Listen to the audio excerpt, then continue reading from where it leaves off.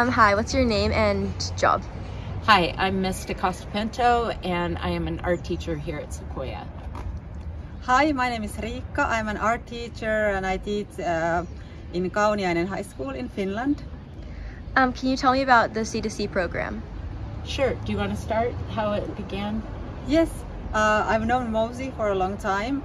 Uh, I used to live for a while here in California and then um, we heard about this grant you can apply for uh, in Finland um, from our Ministry of Education. They have this transatlantic classroom program. And then I emailed Mosey like what if we would collaborate and have our students to work together? And Mosey was saying and I said yes. We decided that it would be a science and art exchange. And looking at the um, interactive the similarities between art and science and how together there's so many commonalities between both art and science and so we decided it should be about the waters and the environment and climate. Um, what activities have you guys done this week? Well, uh, Mosey told a little bit about it. We have visited a lot of places, but then um, what else? We've been also making art.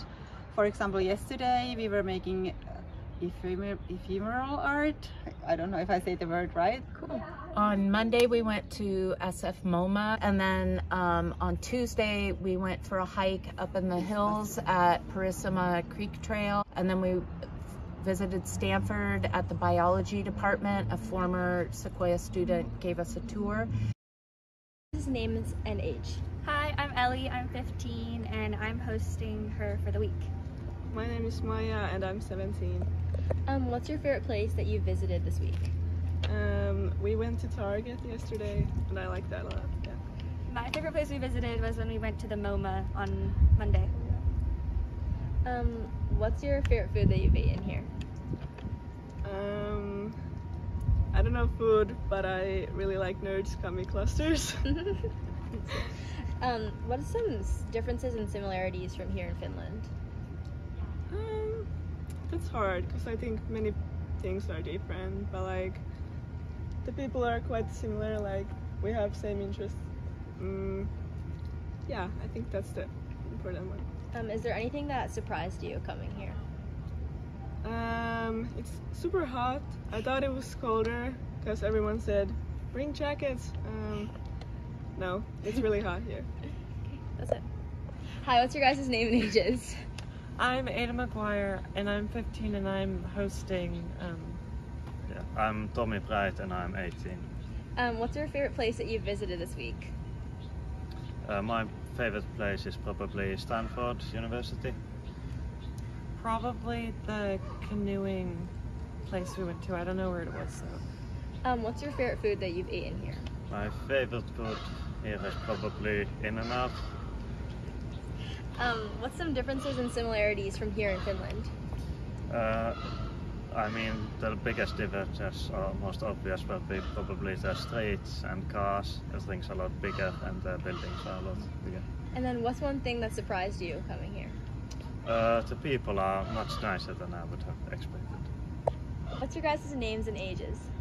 I'm Nadine, I'm 16 years old. I'm Yenna and I'm 18. What's your favorite place that you've visited this week? Uh, my favorite place was San Francisco Museum of Modern Art.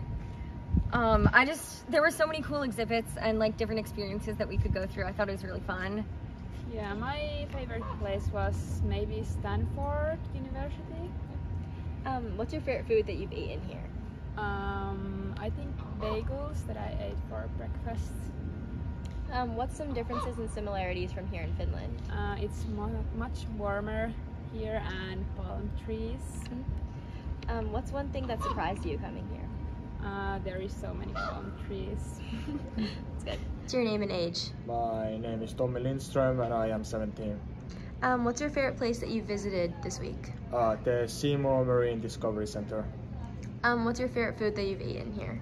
Oh, uh, I really like the uh, Froyo place that uh, my host family took me to. Um, what's some differences and similarities from here in Finland? Well, there's actually a really good amount of trees here, which is similar to Finland. And then, of course, the biggest difference is the weather, which has been uh, really uh, dry and uh, hot.